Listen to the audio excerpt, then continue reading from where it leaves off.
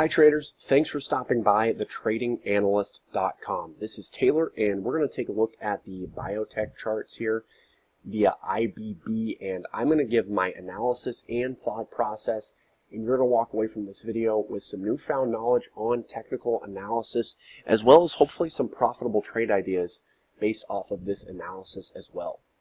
But first, if you're not already a member at thetradinganalyst.com, give us a visit on the homepage of the website and get to know us a little bit better. If you like the free videos and analysis that we give to you on a daily basis, it's absolutely nothing in comparison to the membership you get once you sign up with your free seven-day trial. Once you sign up with that free seven-day trial, you're going to get instant access to the profitable trade alerts that our current members are getting on a daily and weekly basis. It's a great opportunity and we'd love to help you with your trading. Right, so let's take a look at these charts here. Uh, starting off, uh, we're looking at IBB, and we've been calling for higher prices on biotechs for quite some time. Right here is where we got long some calls. We took some profits. Up here, that was about a 300% win for us on that swing trade. Now, uh, we're looking for higher prices here. You can see that when we consolidated here, we didn't really get much of a dip. All right, we saw this uh, big scary day right here, and it being uh, facetious.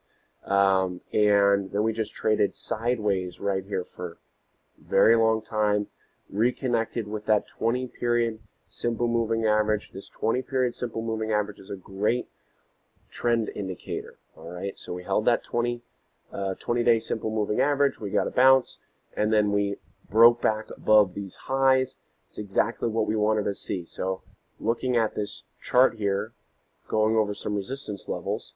So the reason we took profit up here at about 321 is because it was previous support. You can clearly see that right there. A lot of touches previously against that support level, so that is now a level of resistance.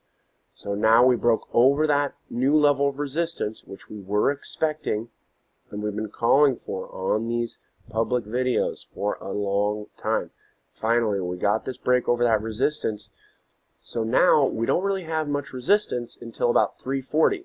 So see, not much resistance. There was this big gap down here and then no real sideways trading. Okay, so um, that's how support and resistances are formed is based off of amount of touches or sideways trading. And you can see right here, we just went straight down right here. Not a lot of resistance uh, was created by that move. So next resistance is up here. You can clearly see it reacting many times against that 340 level. Um, and I do think that we're going to be headed up there uh, sometime uh, within the next several weeks. So definitely be looking for that.